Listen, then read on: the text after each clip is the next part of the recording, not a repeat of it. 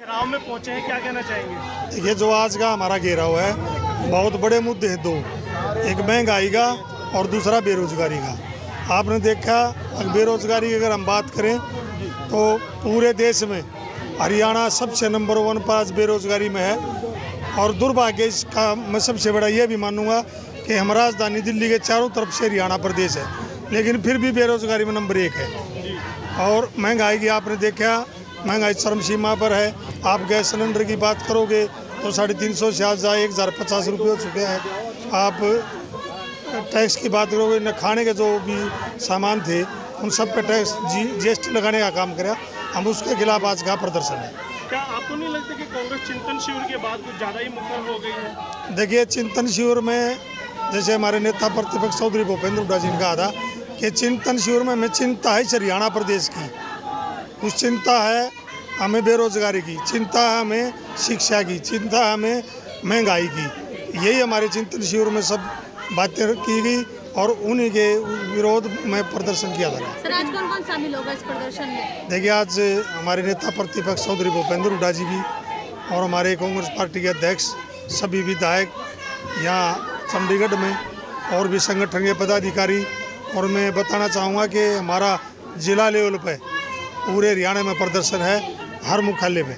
लेकिन बीजेपी आपने कहा कि हमें चिंतन शिविर में जनता की चिंता थी लेकिन बीजेपी कहती है कि चिंता अपने विधायकों की अपने सांसदों की नहीं। उसकी ही रही है नहीं देखो चिंता ना तो मैंने अपने विधायकों की न सांसदों की हमने चिंता है तो महँगाई की बेरोजगारी की भ्रष्टाचार की और बेरोजगारी की बहुत सारी चिंता ये है। आज विधायक हो चाहे हमारे एमपी हो ये तो हमारा संघर्ष जीवन है हम लड़ाई लड़ते रहेंगे। अगर हमारी आवाज़ दबाई जाएगी तो उसके खिलाफ भी हम लड़ाई लड़ेंगे इसकी सड़क से घेरने की रणनीति क्या कामयाब हो पाएगी? बिल्कुल हो पाएगी। ये तो आपने देखा जो भी इनके खिलाफ आवाज़ उठाएगा चाहे वो किसी भी प्रकार की आवाज़ हो उसका आवाज़ को दबाने का काम कर रहे हैं उसके पीछे ईडी लगाने का काम करते हैं इनकम टैक्स बढ़ाने लगाने का काम करते हैं। जो दबाव की राजनीति इसको हम सहन नहीं करेंगे और कांग्रेस पार्टी न डरने वाली और न झुकने वाली विधायक के तौर पर इंदू राज भालू विधानसभा में कौन सी मांगे उठाने वाले? मैं सबसे बड़ी मांग और जो उठाने वाला हूँ, एक तो बेरोजगारी की, शिक्षा की, महँगाई की, और मैं अगर अपने हलके की बात करूँ तो मेरे हलके में बहुत सारे काम हैं, वो अधूरे छोड़ के जाए, उनके आवाज़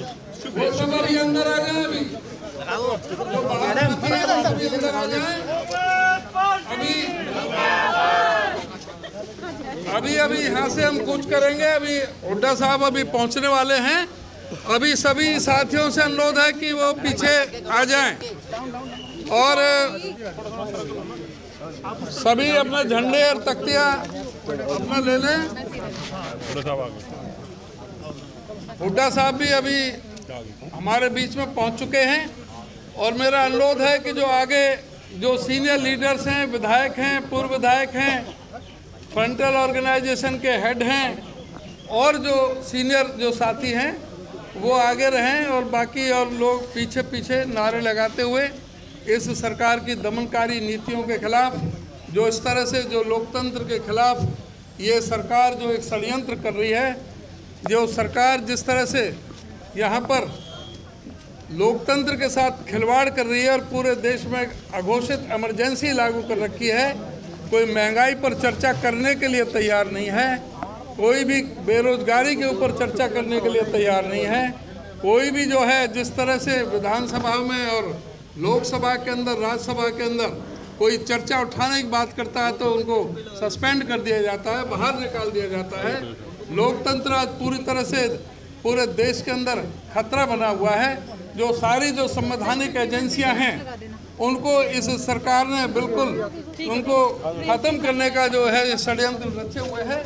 आज देश में लोकतंत्र को बचाना है आज देश में संविधान को बचाना है। तो अभी आदरणीय हुड्डा साहब भी हमारे बीच में आ गए हैं और मैं अभी सभी साथियों से ये अनुरोध करूँगा कि जो ये आगे भी है वो थोड़ा पीछे आए जरा। और हम थोड़ा सा और आगे आ जाए। चौ साहब आगे हाँ, हाँ, थोड़ा सा थोड़ा पीछे चलो।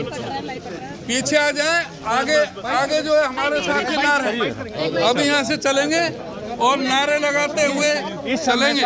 और सीधा कि आज क्यों प्रदर्शन कर रहे हैं। कांग्रेस क्यों प्रदर्शन कर रही है। महँगाई और बेरो- बेरोजगारी से जो लोग परेशान हैं उसके खिलाफ हम प्रदर्शन कर रहे हैं। हुडा साहब क्या ये विधानसभा में मामला उठाओगे आज के बाद? उठाएँगे जब जो है मुद्दे हैं महँगाई और नारे जो शुरू है कर दो नारे। आज ऐसी समस्या जिसे हर व्यक्ति जुलस रहा है। हुडा साहब हुडा साहब कुलदीप बिश्नोई ने चैलेंज किया आपको चुनाव लड़ने के लिए। चैलेंज एक्सेप्ट कीजिए उसके बारे में क्या कहेंगे